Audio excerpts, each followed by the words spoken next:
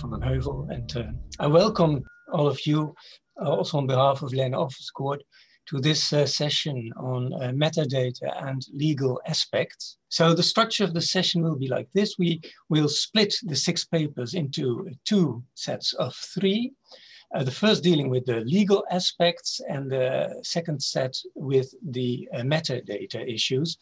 Um, and we will do it like this. We will give each paper, so now we are going to this first session of three papers. Um, each paper will have a, a pitch of, his, uh, of, of, of the paper in one minute.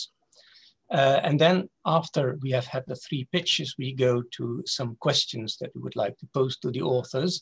Now, I'm well aware the pitch of one minute must be uh, horrendous for people in the legal domain, but uh, I, I, hope that you, that you can manage. So let's see how this works. So for the first paper, uh, the framework on uh, sharing language data, the perspective of personal data protection, who is the speaker? I think it should be me, I guess. No, right. Okay. And uh, you sorry, are. Sorry, I, am I'm, I'm, I'm Aleksei Kelli. Okay. I, I had some technical issues. I, I so these links are very complicated. Okay. Thanks. Well, please try. One minute. You have it. So basically, the, um, uh, our research is about contractual framework for sharing data. The issue is that uh, GDPR, General Data Protection Regulation, has many requirements and liabilities. And the question is that who is really responsible when something goes wrong? And our research paper focused on, uh, actually our paper focused on research settings, which involves academic freedom, research mobility when researchers move from one place to another, consortia issues, because very often there are like many universities together, and consortia at the end of the day is just a contract. The question is that who is responsible then? And of course, infrastructures such as Clarin. And uh, uh, in GDPR context or General Data Protection Regulation context, sharing is actually processing data because processing is defined so widely that it covers any operation. Whatever you do with data, it's called processing. It's, it's called processing so sorry, we have some slides, but but I just concentrate on my um, my, my, speech at the moment. Uh, yes. Uh, so, uh, and GDPR GDPR GDPR says that actually the person who is responsible is a controller, and controller is defined as natural legal person, and who determines uh, determines the purpose and means of processing. Basically, says why to process and how to process. Yes. Uh, and, and the issue is that whether university is responsible or employees or, or researchers are responsible. Actually, the key issue here, the, the key you. issue issue here is, and, and actually there are different approaches. For instance, at University of Tartu in Estonia, university defines itself as controller, but we have also, um, as my, this French experience, when, for instance, head of some institute could be responsible. I, I think this issue, one way or another, has to be unified within European Union. Thank you, uh, Aleksei. Aleksei, I have to stop you here. You've uh, spent your one minute and you have made your uh, uh topic very clear. So that's, that's not an issue. Thank you very much. okay, let's proceed to our second uh, paper, uh, um, which is by Gründhammer, Hannes Schläger, and Trognitz. Um, so it's on going to the Alps. So who is going to bring us to the Alps? I am taking you to the Alps. Hi, can you see me? Yes, Vanessa, yes. Okay, hi. Um, yes, uh, my name is Vanessa Hannesschläger, and um, I, am, I have the privilege to speak also in the name of my two co-authors.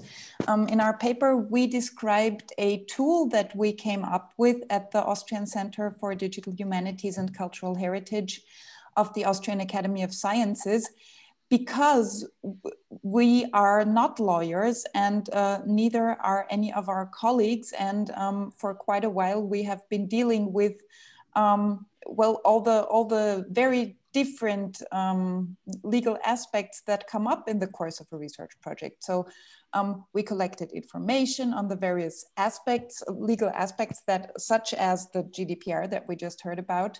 Um, and at some point we realized, okay, so we, we need um, we need to provide some sort of structured support for our colleagues at the Institute, which is when we came up with the ALPS, which, which stands for ACDH Legal Issues Project Survey.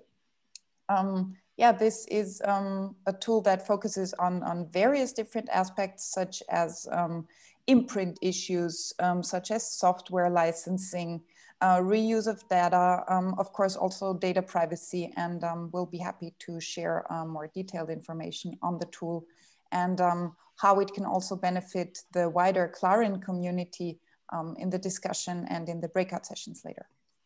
Thank you very much, Vanessa.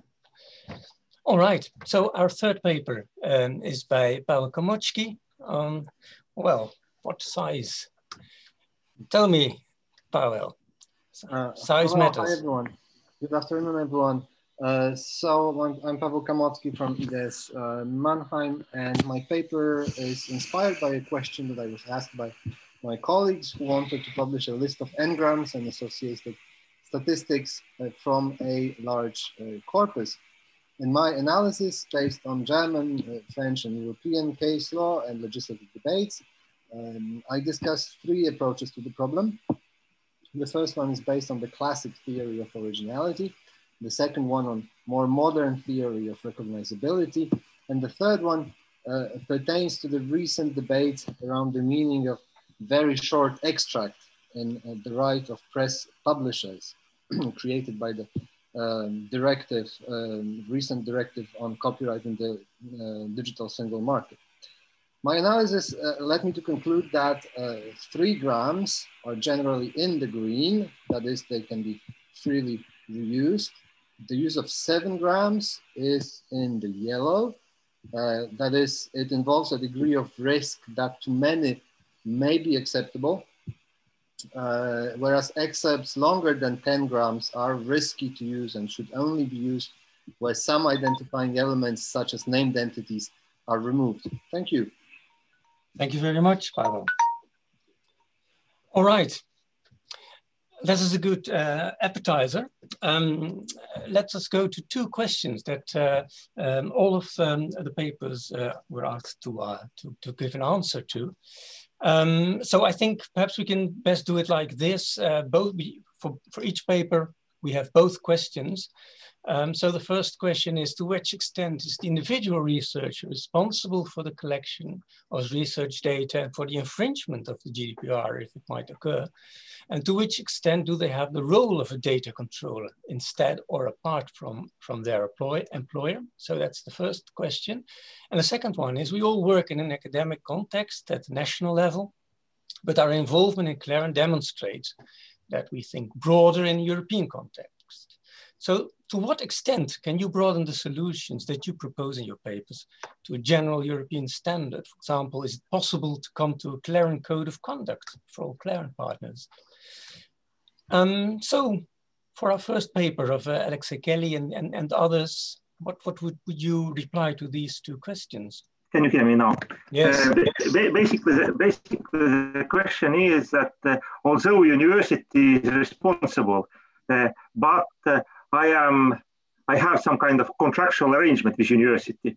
One way or another, it's it's not that researchers can do whatever they want. They are responsible. Uh, uh, I, actually, actually, I'm in, responsible before my university. But but why usual organizations are responsible because they have more money. And something happens, then data subjects or persons whose data is misused uh, likes better uh, this kind of organizations which have money and which easier to get money because usually individual researchers don't have so much money. Basically, something happens, university first has to pay, and, uh, and, and then university deals with, with its employees later. But, but of course, it depends, it's more or less, I think, this is the uh, context. Yes. And the second question. And the sec second question is that uh, is how it's in broader context or, or, or general European standard. I think that one, one, way, one way or another enforcement takes place within your jurisdiction, specific jurisdiction. And, and uh, when, when I do something, no, one, I, I have to be sued in specific country, I think that. Mm. And in broader, in broader European context, I think that uh, actually the GDPR provides the same standard, which means that uh, I shouldn't infringe any, anyone's rights. And when I'm not infringing, then nothing happens. And this is European context. But, but when there's litigation, it's most likely national litigation. Right. Thank you, Okay, let's go to um, our second paper. And um, is it you, Vanessa, again, that will answer our two questions? Um, I'm hoping that my colleague Martina Trognitz will join me and help me in answering the question. I should be online. Can yes. you hear me? Yes. yes I hear yes. you. Hello. Hi. Hello, Martina. I'm Martina. Um, yeah, so for the first question, um, uh, the researchers at the Austrian Academy are responsible for the research and research data to all extents. Um, and this also includes copyright, any ethical questions, and, uh, and obviously also the GDPR.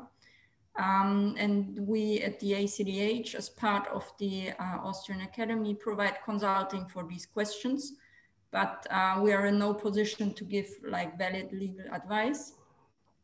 Um, and the current um, contracts at the Academy also stipulate that the research data belongs to the academy, but um, all these uh, legal infringements and who is the culprit is not really, um, I think there was no, or there was no legal case up until now. Yep. And then for the second questions, um, many of the questions we're asking in the questionnaire apply to, I think, many of other European countries. And so I I think that the set of questions could be used as a basis for maybe a general piece of advice for all Clarin partners. Right, yes, thank you. Yes, so yeah, I think an important aspect of what you, what you also mentioned is that um, um, in practice, it hardly ever occurs, and, and not even to my knowledge, and not at my institute, people yeah. really wanted to retract data or thought their, their rights were infringed uh, in, in a research. So um, that's always that's also the practical thing that uh, that matters here, the risk that you run in the end. Yeah. Yes, that's right. Okay, thank you very much. You're welcome. Um, let's go to our third paper. Uh, Pavel. Yes, uh, so my answer uh, to the first question would uh, be that this is unfortunately uh, awfully complicated and depends very much on uh, the national context and the institution. Uh, if we just want to apply the GDPR strictly, then the definition of a controller is quite straightforward. Is the an individual or an entity who alone or jointly with others uh, defines the means and purposes uh, of processing. So uh, applied to the context of research, I would say it depends on how the particular project is organized and what are the roles of a particular researcher. A, a PhD researcher or, or, a, or an assistant uh, typically does not, I mean, he is just asked to process data in a certain manner, but he does not um, or rarely decides why, so for what purpose and how exactly using what means the data are going to be processed. Uh, so uh, such a, a, a, lower grade researcher can hardly be regarded as the controller. However, if someone uh, really takes uh, such decisions, uh, then there is a resp responsibility that comes with it. And these decisions can be taken by an individual or they can be taken um, at the level of an institution, uh, not necessarily the whole university. Personally, I would be surprised if it comes out that it's decided at the level of the university, but it can be decided at the level of a research team or, uh, or, um, or an institute or, or a faculty.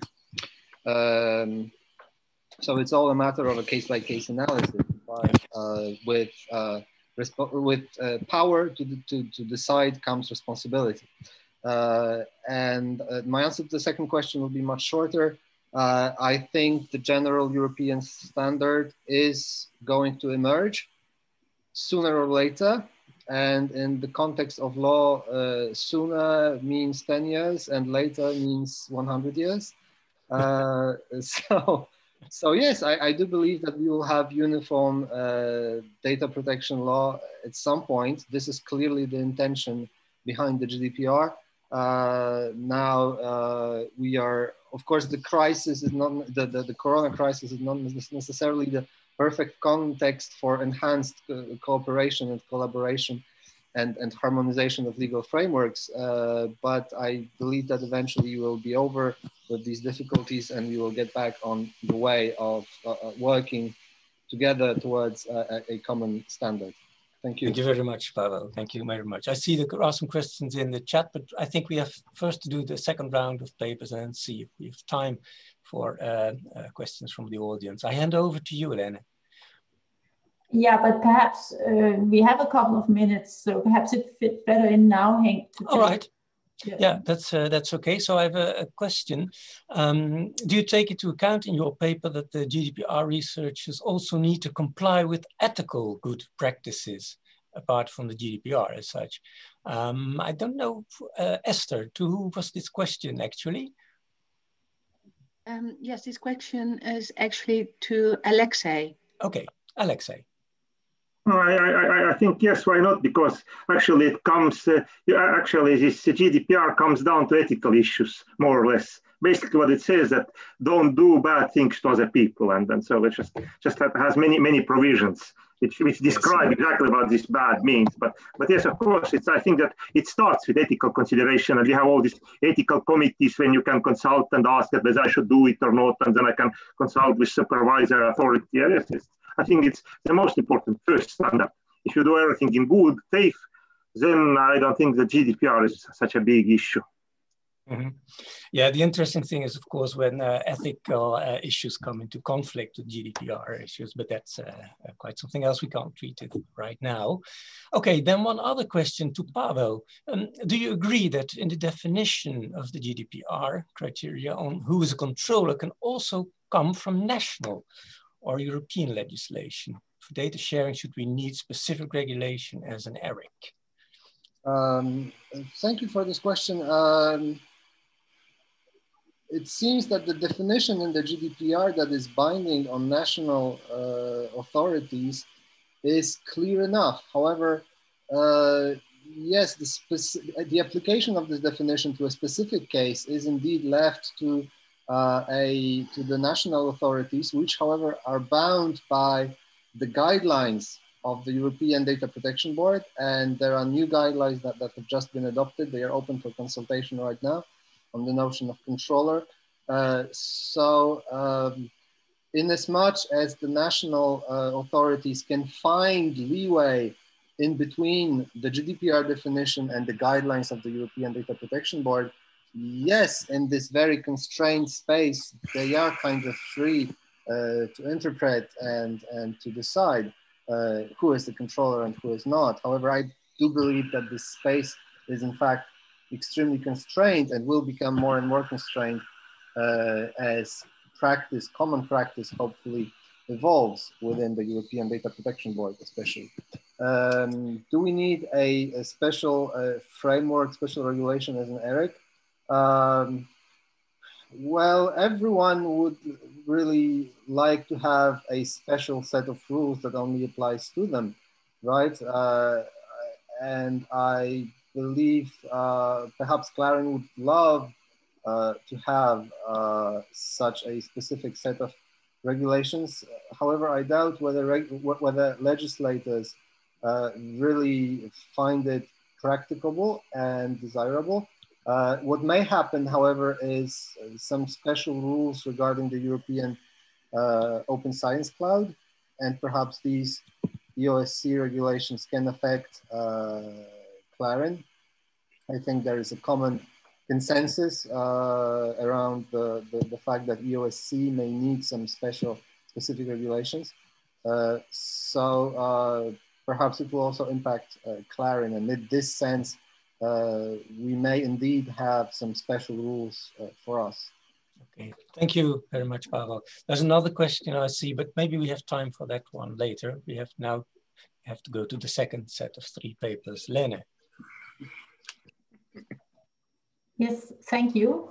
And uh, just in the same way as before, we will have uh, three pitches and we will start, start with the pitch for the signpost for Clarin and it's by Denis Arnold, Bernhard Fisseni, and Thorsten Trippel. Who is going to take the floor? Uh, I am going to take the floor. Bernhard Fisseni. Welcome. Thank you. Uh, so uh, what you see here is that we want to sell you signposts for Clarin. Signposts are supposed to replace the idea of a tombstone object that has to be inserted if you have to alter data or have to withdraw data due to legal reasons or due to reconverting it to another format. Um, a tombstone normally presents a problem that it has a different data format, and we suggest that you insert a, a signpost, which is a piece of metadata that points to the uh, resource directly and tells you about the history of changes. And if you always point to that, then even if you have to withdraw a, a resource or change it, you will always get good information to work with. Thank you. Thank you. Then we will continue to this paper, Extending the CMDI Universe, Metadata for Bioinformatics Data, Olaf Brandt, Holger Gauza, Steve Kaminski, Mario Trojan, and Thorsten Trippel. And who is going to take the floor for this? So that would be me. This is Thorsten Trippel. Um, well, in Clarin, we know that CMDI is a great way of creating metadata profiles that are tailored to the types of data. We have done so for multiple data types such as text corpora, lexical resources, psycholinguistic experiment, etc. When we were entering into, into a collaboration with colleagues from bioinformatics, they were first smiling at us when we presented them with the solution to metadata modeling.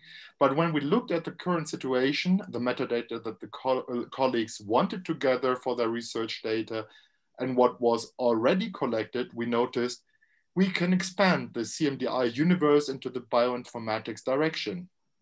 It turned out that we can take the best of various worlds, including METS metadata containers and a tailored CMDI profile, use concepts defined by the community, but utilize the Clarin infrastructure.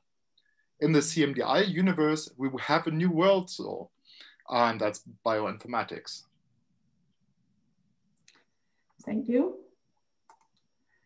And then we go to the CMDI Explorer by Denis Arnold, Ben Campbell, Thomas Eckart, Bernhard Fisseni, Thorsten Trippel, and Claus Zinn. And who is going to take the floor for this? Uh, I'm going to take the floor. I'm Claus Zinn. Uh, can you hear me? Yes. Okay, so uh, the CMDI Explorer or the CMDI Explorer is a tool that uh, aims at supporting researchers to better access complex scientific resources via their metadata. So focus of the tool is really easy access to the research data that is being described rather than displaying metadata.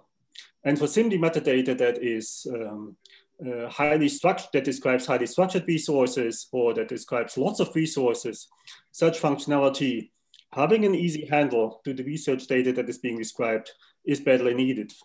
The tool shows you a tree structure of the research data that is being described. And for its leaf nodes, it attaches actions to them, such as view, um, download the resource, view a little bit of metadata about the resource, or send the resource to the switchboard. CMDI Explorer also helps you to put parts of the resource tree into a shopping basket, so to say, uh, so to speak, and to download the basket as a zip file. So you can easily then work offline with the research data that you just conveniently downloaded with the help of CMDI Explorer. Thank you. And now we will go to some uh, concrete questions, each one for each paper, and then we will have a more debatable question in the end uh, to, to all of you, uh, three. Uh, so my question would be uh, for the signposts. These signposts, they should make it easier to be pointed to the latest version of a continuously growing corpus, as an example. How does signposts assist reproducibility? That I, when I need to extract exactly the data from a certain timestamp again, in a kind of automatic manner. Uh, so I think the first point we have to make is that signposts are not supposed to replace versioning. Uh, so uh, you still have to do versioning and what sign signposts take care of is if, if a certain version is corrected or has to be somehow adjusted, um, then you fi can find that data again uh, and if the it has to be changed, uh, there will be a log that allows you to find um, the whether the data is still available uh, and how you can, and there might also be a pointer to the next best version of a resource. So uh, you, in that way, it helps reproducibility because you know uh, whether you can still access exactly the same data, how to get the next best, next similar thing, which should, of course, deliver very similar results as well. Um, but it uh, it's it's one component in a system uh, of uh, how to make data available that solves a very specific area of problems. Thank you. Thank you. And then about our bioinformatics uh, world here, uh, as you write, there's a long list of steps in the experiments that has to be documented. And you also have, in this way, a long list of information sources that are available on different times. So can these metadata be continuously collected, structured, and made available in, in the system that you kind of sketched for this? Or do you need some versioning for the metadata to support that metadata are produced in a number of processes? Well, the lab's workflow in omics research are indeed uh, highly automized. There's just the drawing of a sample. Uh, that means sticking the needle into something or someone and placing the cell material into the machinery. That's basically the only manual process. Everything else is modeled in software. Um, of course, the, uh, with the number of samples you draw, uh, the uh, amount of data increases and there's though there are only four letters involved in, uh, in genomics, um, there is a huge amount of data. And uh, so the whole thing relies on automatic enrichment of the metadata when you want to archive this kind of thing.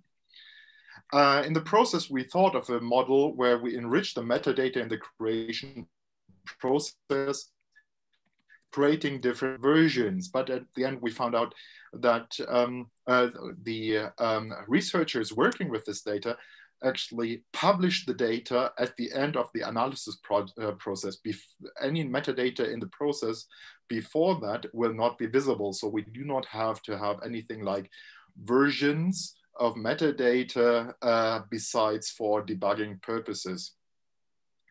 Um, so um, having said that, that means um, there's a huge difference between what we usually see in uh, the Clarin community that people use um, data created by somebody else and elaborate on that. Um, in bioinformatics, it seems to be that uh, they would rather start with a fresh sample and create a whole uh, workflow uh, again and not necessarily elaborate on um, data that uh, uh, um, uh, is uh, being archived before. So in this sense, um, we do not need versioning, though implicitly we have it because uh, all the automatic processes would enrich um, the metadata processes. And that's actually what we do uh, that um, um, so whatever whenever a process creates something that can be used for the metadata, uh, this will be written into a metadata file. Okay, thanks. And then for the, the third paper, how can the user easy keep track of the metadata on collection level when extracting a subset of data or where there's or is there a way for the user to easily reference the path of the selected data in this complex structure? Because you have this CMDI Explorer where you can find stuff deep inside something. Is there then an easy way to reference that? Yeah, so um, at the moment you can't.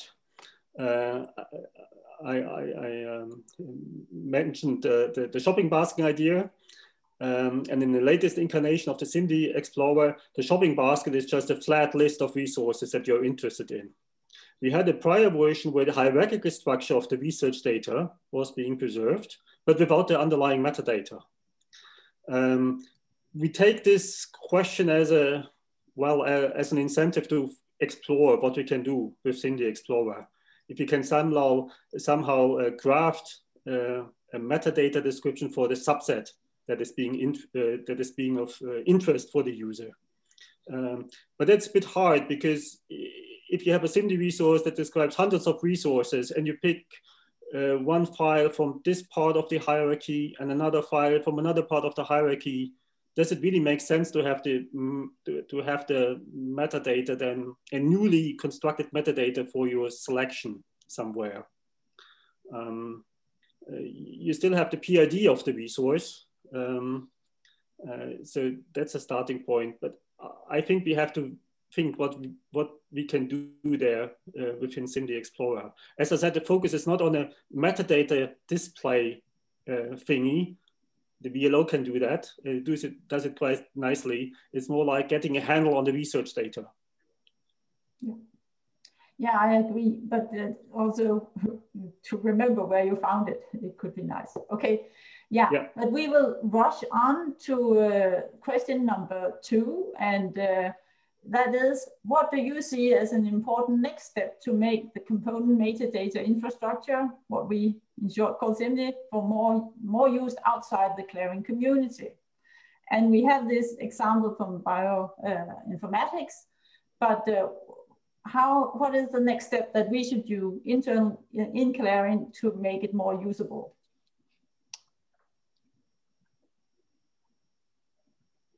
Thorsten? Yeah, I would like to answer that. So, of course, uh, um, so I'm kind of a CMDI evangelist, so I need to uh, answer that.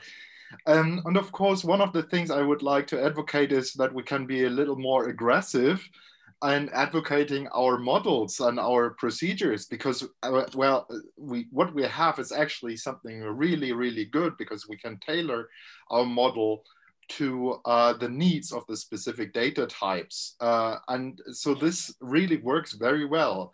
However, we should not neglect there are other um, ideas out there. For example, in PREMIS we have uh, so uh, which is a different metadata standard. There's a uh, there's a very elaborate way of um, uh, of modeling the access to resources, for example. Of course, we could remodel this in a CMDI, but maybe it's a good idea to uh, use something like PREMIS uh, in the METS container with a CMDI component. And I think this uh, uh connection, this interweaving of uh, METS and PREMIS and CMDI really would uh, make it very worthwhile um, um, uh, working with other communities because that really helps them to understand what we are doing with uh, with CMDI on the descriptive level. Another thing that is really um, would really be helpful and where we really need to look into is I think that we uh, have a meaningful connection uh, of our, uh, our metadata files into the linked data world with SPARQL endpoints that really are connected to the other, to, to via authority files, for example, to other uh, resources, uh, which uh, would really open up um, uh, to other communities as well. Thanks. Claus, do you also have a comment on this? Uh, yes, maybe maybe the answer is twofold. Uh, first, I, I think we should really appreciate in the Clarin community itself what kind of uh, gem we have with uh, CMDI. Uh, I think we underuse it at the moment. I know that in Tübingen we, we create very rich CMDI profiles and we use them. Um, uh, but we, we should use them even more uh, and really uh, you know the, the the garden of profiles that we have in the in the Clarin concept registry and in the Clarin component registry, we, we should care about this garden and make it flourish. Uh, the second part of the answer um, is uh, we need to cross boundaries uh, to the other disciplines who don't know CMDI. Uh, I have written a couple of converters from CMDI to Dublin Core to MARC 21 uh, to mods uh, and uh, some other standards from the library world. And when you write converters, you know that CMDI is much more expressive than these other standards, which are discipline independent. Um, so we should, we should of course promote uh, CMDI, but we should also uh, bridge our metadata descriptions to those of, of, of the other communities and uh, library worlds. Yes, and I would just like to hear, uh, if, if you like to comment too, or? Yeah, maybe uh, I would also go in two directions. On the one hand, in our work at the IDS, we noticed it would be nice to not only show the flexibility, but also have the more standardized components uh, that are more generally usable, such as a, a task force is currently developing within Clarin. And I think maybe it's also good to show that you can use CMDI, for example, to implement concepts such as signposts or to show that you can build things like the CMDI Explorer, which uh, then show uh, that it's useful and that we have uh, applications that do nice things for it, which are interesting for everyone. Yeah, thank you. Yeah, and I can see that we have also some comments in this in the, the chat, but uh, we are also facing only two minutes to the end of this. Um, I see one comment is that we should promote uh, CMDI inside, uh, in internally in, in the Clarin countries before going outside, and I think that's of course also an issue to go into. Okay, but then I think that we will conclude this session and we will thank all our all the authors of the papers and uh, who willingly also gave uh, speeches and pitches and answers to our questions.